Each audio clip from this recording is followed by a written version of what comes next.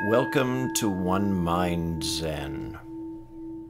Tonight's Dharma talk is given by Jonson Sunmin Miller.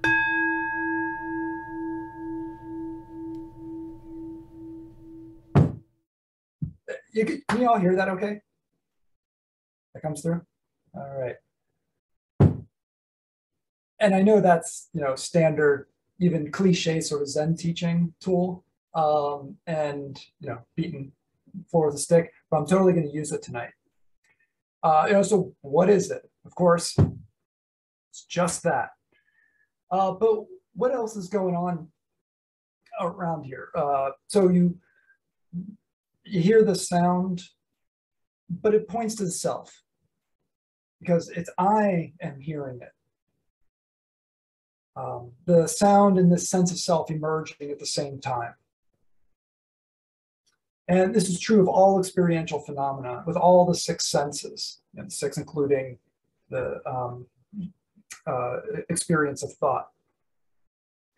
Um, and so if you're so inclined during the next meditation session, you could of course go through all six of the senses in sequence. Um, you know, just go, you know, go head to head to toe with uh, all the various bodily, you know, the touch sensations and through, you know, hearing and seeing, smelling, tasting, noting thoughts, and and notice how the way that each of them draws to self within this bounded experience of uh, within the bounds of what our body can feel. Um, and see that experience that sense of self emerging out of that. All right, but what else is going on? Um, so there's no objective sound. Um, you know, this sound as a thing uh, being heard by some objective eye as as a thing. Um, so I think about everything that's going on in this experience of this phenomenon. Um, so our ears and our brains have particular structures. So think the billions of years of evolution that took for that to happen. Right, that's a lot of things going on to experience that thing that we then conceptualize as sound.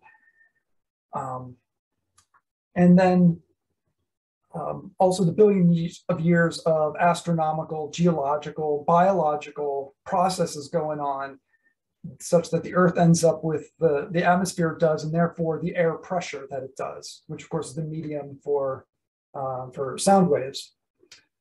Uh, all of that could have been different. But in, literally infinite number of things happening uh, to get us to this point. And then um, we all have you know different computers and speakers that are processing sound differently, so it's coming to us differently. Uh, we all have different ears. Um, so there's um, so not just our so there's a you know infinite number of things going on to get us to uh, to hear this, um, and um, well, and it's I mean it's not just us. I think you know like the stick. Um, it comes from a particular tree. So first of all, particular species. So again, going back to billions of years of evolution. Um, but you know, what if my uh, teacher hadn't given me this, give me a different stick, or I found a different stick? Uh, his dad had cut it for him. What if he'd pick a, a different branch or a different tree? Right, that would produce a different tone, um, different different weight, different density, and sound would all be different.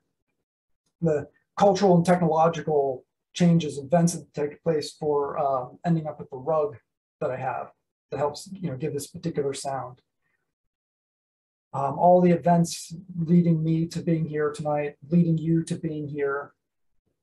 So an infinite number of conditions existing.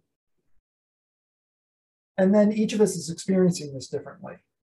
It's not the same phenomenon.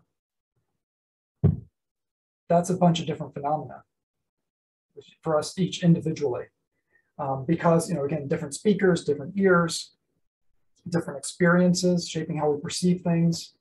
And then each that I've done tonight is also different. Different amount of force, uh, holding the stick in a different place, hitting the ground in a different place. Um, but each arises through the interpenetration of everything.